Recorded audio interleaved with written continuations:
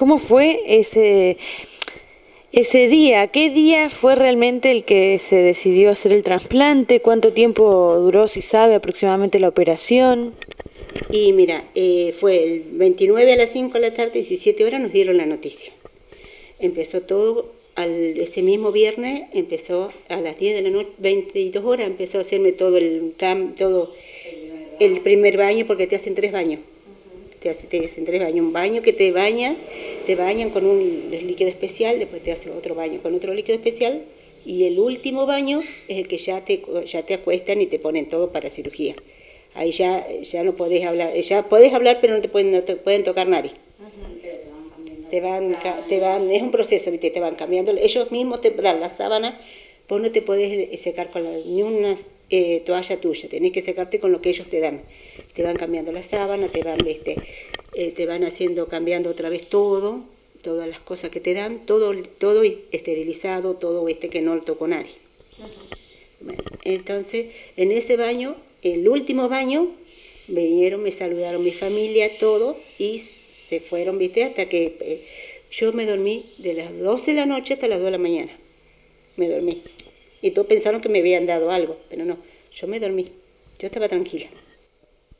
Es increíble esto que cuenta, ¿no? Que, se haya podido dormir sola eh, dos, eh, dos, durante dos horas previo a una cirugía de semejante calibre. Sí.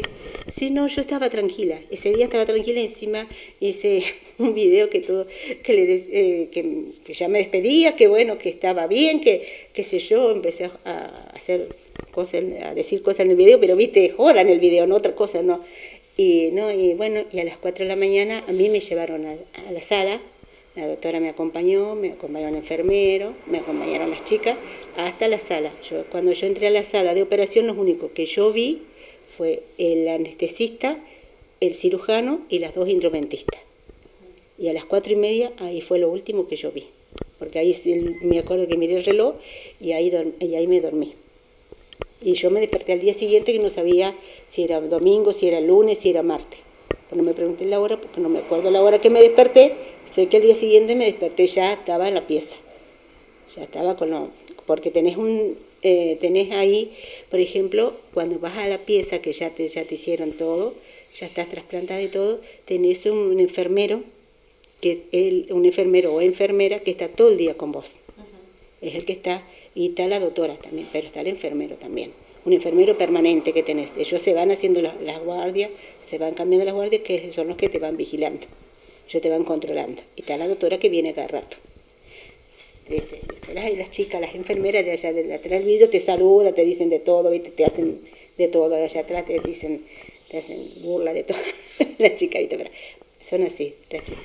Hablando, bueno, pasó la operación, eh, fue realmente, ahora te, vemos, podemos dialogar con vos, no hace muchos meses de lo que estamos hablando, estás muy bien.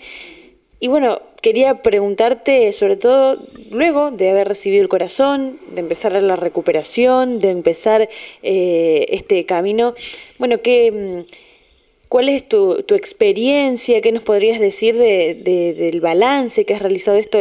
Por ahí si, si querés mencionar eh, la importancia ¿no? de, de, la donación de órganos, vos podés eh, eh, estar, eh, estás excelente, tu recuperación fue muy rápida y realmente es una experiencia maravillosa dentro de lo feo, si se quiere, de tener que transitar por estas situaciones.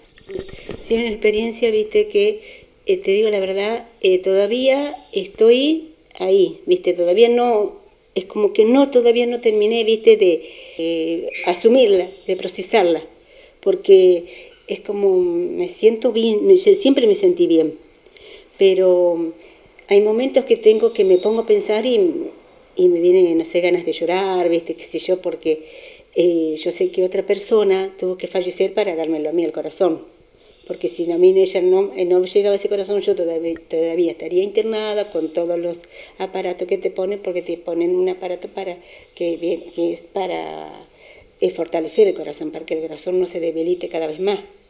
Por eso, entonces, eh, gracias a esta persona, porque ella si no hubiese fallecido, yo no tendría el corazón.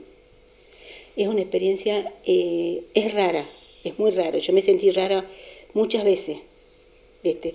Por ahí tengo procesos, ¿viste? Que, no sé, que me siento rara, que me siento extraña, este, yo, pero es muy, te digo la verdad que donar a la gente que lo pueda hacer, que lo haga, donar, donar, porque hay mucha gente que, como yo, están cuatro meses, cinco meses esperando un corazón. Yo tuve poco, pero hay gente que está mucho tiempo.